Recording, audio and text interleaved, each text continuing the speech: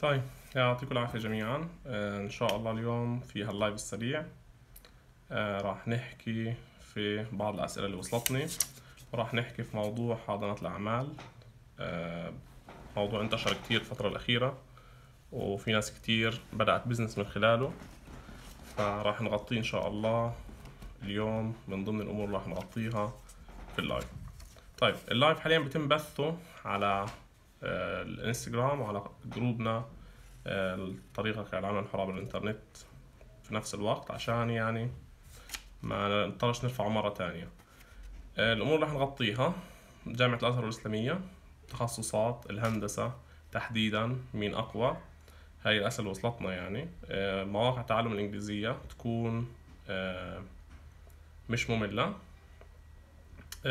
شو هو ال CPA كيف ممكن نربح فلوس من خلاله؟ موضوع طريقة العمل الحر على الإنترنت شو يعني عمل حر أصلا وكيف ممكن أنت تستغل وقتك وأنت في البيت وبتشتغل زي work from home يعني عمل حر على الإنترنت.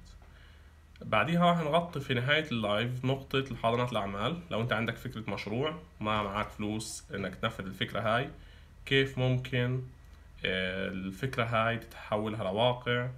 وتحصل على تمويل من حاضنات الأعمال الموجودة في قطاع غزة أو الموجودة في بلدك حسب أنت في أي بلد. والفلوس اللي تاخدها منهم تبدأ من خلال ال business الخاص فيك. كيف ممكن تحول فكرة مشروع التخرج تبعك ل business؟ كيف ممكن تتوجه لحاضنة الأعمال آه، بعرض لفكرة مشروعك ويعطوك تمويل لهاي الفكرة؟ آه، لو أنت حابب تتعلم في مجال معين شو هي حاضنات الأعمال الموجودة في فلسطين وفي قطاع غزة تحديدا؟ اللي ممكن تتدرب من خلالها على العمل الحر عبر الإنترنت تتدرب على مهارات التصميم والبرمجة بكل سهولة آه، مجانا وتاخد غير الاحتضان هذا. كيف ممكن تاخد فلوس؟ آه، زي بوكيت ماني الآن الأمور اللي بدنا نغطيها آه، نبدأ في موضوع مين أقوى الأثر الإسلامية في موضوع الهندسة. الآن بالنسبة لموضوع الهندسة تحديدا الأقوى ما بينحكاش مين أقوى هي كجامعة. آه، كتخصص ممكن نشوفوا المواد الخاصة بالتخصص لكل جامعة. لكن إجمالا الجامعتين كل جامعة قوية في التخصصات تبعتها. يعني غالبا مثلا ميكاترونكس موجود في الأزهر مش موجود في الإسلامية. آه، كهرباء وتحكم موجود في الإسلامية مش موجود في الأزهر. فبالتالي فيش نفس التخصص في الجامعتين إلا في مجال ال IT يمكن. فعشان هيك صعب الواحد يحكي إنه في جامعة أقوى من الثانية في موضوع معين. أنت لازم تشوف التخصصات. لكن أنا عن نفسي أنا شايف إنه الجامعتين نفس القوة. آه، الفرق الوحيد الشخص نفسه. أنت اللي بتقرر إذا أنت بدك تخلص من الجامعة مختلف ولا بدك تخلص من الجامعة زيك زي غيرك وينتهي فيك الأمر تجلس في البيت بدون شغل. فبالتالي لو اعتمدت على العلم تبع الجامعة حتى لو تعلمت في هارفرد على الفاضي لا أزهر ولا إسلامية ولا إيش حيجاوب فيك.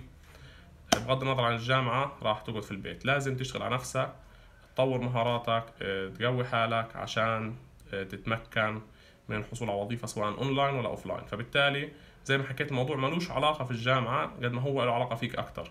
في المدرسة بيكون الضغط أكتر على المدرسين لكن في الجامعة الضغط أكتر عليك. الجامعة الدكتور بس ممكن يعطيك يعني تاخذ منه اسم المادة. في دكاترة آه، بس اسم المادة وكتير.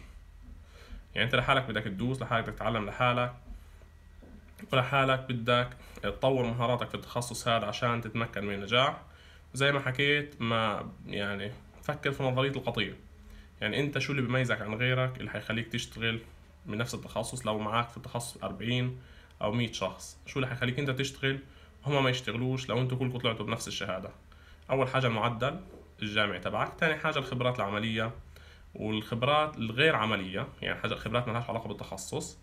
آه، مثلا لو أنت خلصت برمجة وتقدمت وظيفة مبرمج وكل دفعتك متقدمة معك. لو أنت بتعرف تصميم زائد البرمجة تبعتك ممكن تحصل على الوظيفة هذه فبالتالي الخبرات الإضافية هي اللي حتفرق معك في النقطة هاي. هذا بالنسبة لموضوع أي جامعة أقوى. بالنسبة لموضوع مواقع تعلم الإنجليزية. إحنا في group اسمه Learn English تعلم الإنجليزية عملناه. ممكن اللي مهتم في الموضوع يبعث لي رابط يبعث له رابط ال group. آه، ال group هذا من خلاله إحنا حاطين كل المصادر اللازمة لتعلم اللغة الإنجليزية. وفي فيديو على قناتي على اليوتيوب آه، قناة الهندسة التعليمية. لو بحثتوا عنه راح تلاقوا إنه الفيديو هذا بغطي برضه موضوع تعلم اللغة الإنجليزية آه، من خلال تطبيق Duolingo. هو تطبيق سهل جدا وممتع نظام بطاقات. في نهاية استخدامك للتطبيق راح تتمكن بكل سهولة من إنك آه، تحترف اللغة الإنجليزية. طبعا خمس دقائق كل يوم مش كتير يعني أما هاي اللي بحكي عنه Duolingo آه، في طبعا زي آه، قناة يوتيوب ZAmericanEnglish سبق حكينا عنها. هذه القناة مهمة جدا. في لها تطبيق صار على الموبايل. ممكن تحضروا الفيديو بعدها تحضر يعني تحلوا quiz في نفس التطبيق وتأخذوا نقاط. وبتختار المهارة بدك تتعلمها بيديك فيديوهات للمهارة هاي. فبالتالي أنا شايف إنه التطبيق تبع زد أمريكان إنجلش زائد قناة اليوتيوب تبعتهم زائد تطبيق دولينجو أكتر من كافيين آه، تحترف آه، اللغة الإنجليزية. آه، بعدها ممكن تتوجهوا لقنوات أجنبية في تعلم الإنجليزية لأنه بصير الواحد صار عنده يعني مخزون كلمات منيح فقادر إنه يتعلم بكل سهولة. الآن موضوع ال CPA في شخص سألني عن موضوع ال CPA هذا موضوع يعني مشهور كتير عند الأجانب مش عندنا كعرب.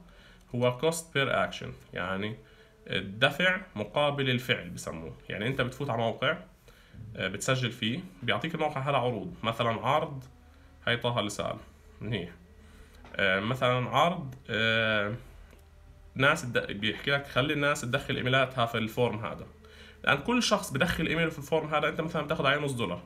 فبالتالي أنت لو أخذت رابط ال form وجيت نشرته في group ات مهتمة في المجال تبع الصفحة اللي, اللي أنت بتروج لها أي حد حيحط إيميله أنت حتاخذ مقابله نص دولار.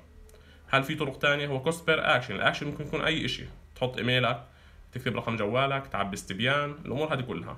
فأنت مهمتك هنا بتكون زي مسوق. أنت بتاخذ الروابط من المواقع هذه بتاخذ الصفحات هاي وبتروج لها وأي حد بيجي عن طريقك أو من خلالك آه، بكل سهولة تربح فلوس من خلاله. طبعا أنت لازم تنشر الرابط يعني بدك تشتغل شوية marketing في الموضوع. فال cost per action هو عبارة عن أحد طرق الربح من الإنترنت آه، زي affiliate marketing بسموه. بس أنت فعليا بتتلقى الدفع مقابل كل حدث بيجي من طريقك أو عن طريقك طبعا حدث زي ما حكيت ممكن يكون حد دخل إيميله حد دخل رقم جواله حد دخل بياناته الشخصية فبالتالي الحدث ممكن يكون أي حاجة من الحاجات هاي. طيب شو عندنا كمان؟ ال cost per action أنا حكيت سبق وحكيت إنه الشخص اللي بحب التسويق أو هاوي التسويق ممكن يتعامل ال affiliate marketing أو تسويق بالعمولة. هذا مجال كتير واعد وناس كتير شغالة فيه بتطلع من ورا دخل منيح كتير فأنت لو عندك مهارات تسويقية ما تضيعها هباء منثورا لا آه انطلق تعلم التسويق بالعمولة وابدأ اعمل موقع سوق من خلاله منتجات على إكسبريس أمازون الأمور هاي. طبعا ممكن تعمل حتى تشتري أنت منتجات وتبيعها في بلدك أو في مكان سكنك. فبالتالي هي عندنا آه، الطريقة الثالثة. الآن خلينا نغطي موضوع حاضنة الأعمال. الآن حاضنة الأعمال هي عبارة عن جهة زي تخيلوها شركة. أو شخص قرر إنه ينشئ شركة. الشركة هذه بتشوف ناس برا البلد آه، بتجيب تمويل من خلالهم لمشاريع جوا البلد. المشاريع هذه بتشمل تدريب أشخاص مجانا بتشمل تشغيل أشخاص مجانا تشمل متابعة أشخاص أو تحويل أفكار لمشاريع لبزنس. وأنا مثلا بعرف في أيام ما كنا إحنا في الجامعة كان في عد عدة حاضنات أعمال. في شباب كانوا اللي مشروع تخرج فكرته التجارية ومنيح يعني شغال المشروع منيح وفكرته تجارية ومطلوبة ممكن يعملها proposal زي عرض ويروح لحاضنة الأعمال يعرض عليها الفكرة تبعته. حاضنة الأعمال لو أعجبت بالفكرة تبعته ممكن تعطيه تمويل لهاي الفكرة. في ناس أنا بعرفها كتير حولت مشاريعها التخرج ل business من وراء الموضوع هذا. كان ال proposal تبعهم قوي وحصلوا على تمويل فوق الخمس ألاف دولار.